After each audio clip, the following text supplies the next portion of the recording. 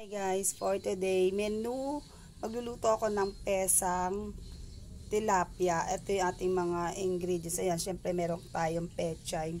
Tapos kamatis, luya, sili, sibuyas.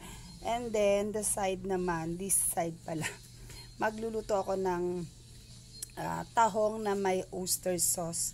Ito yung ating ingredients, luya, sili, sibuyas, and bawang.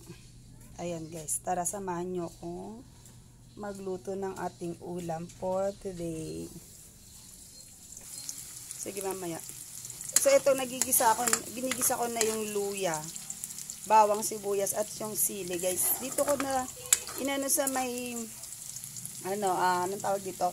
Pinagpintuhan ko ng isda, ng tilapia. And wala kasi akong butter. So, pwede na rin yan.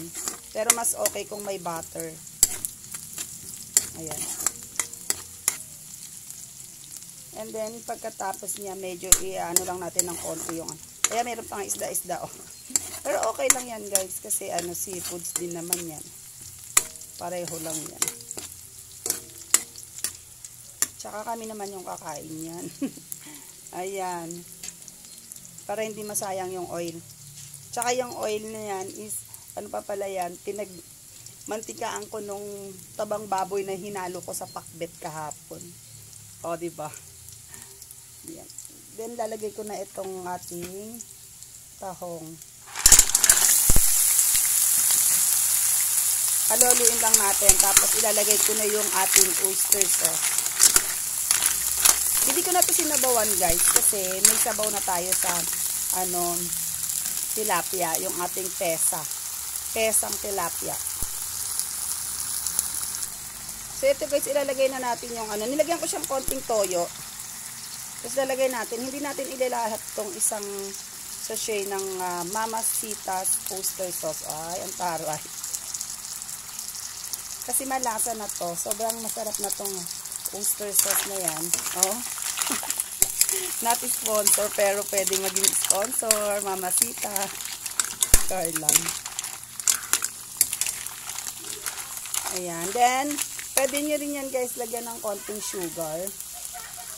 Pero bago nyo lagyan, tikman nyo muna para kung okay na sa inyong panglasa. No? Yung, kasi may yung oyster sauce is medyo malamis-namis na yan. So, titimplahan ko na lang siya ng ano, uh, pepper, ng paminta. Yun lang ititimpla ko guys kasi nga meron ako nilagay ng konting soy sauce. Tapos malasa na yung ano, oyster sauce. So, ayan na guys yung nilagay nating ano, um, ano yan, paminta. Tapos, ayan, lagyan, pwede nyo lagyan ng konting sabaw, no?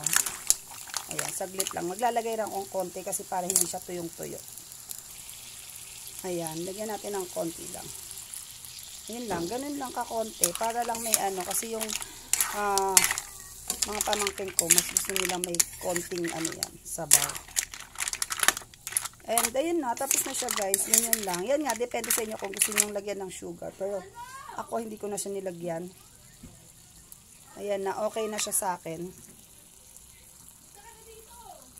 Ayan. And then next natin yung ating pesa.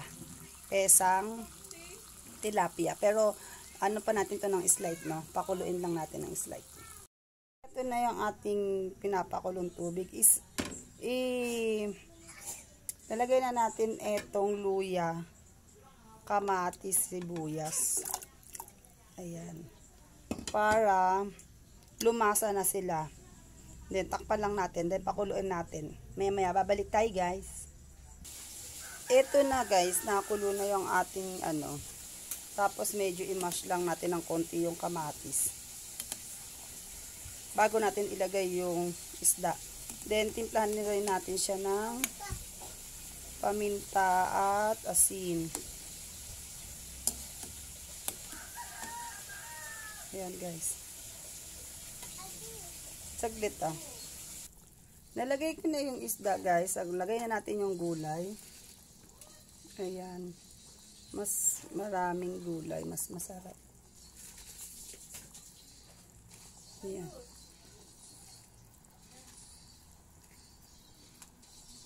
Medyo naninilaw na yung ating ano. Yan, kasi nung ano pa yan sa ref namin. yung pechay. Pero okay pa yan guys. Kesa naman itapon mo. Ayan lang guys, ito yung ating uh, menu for today. Yung ating uh, uh, pesang tilapia at yung ating tahong na may oyster sauce. Thank you for watching.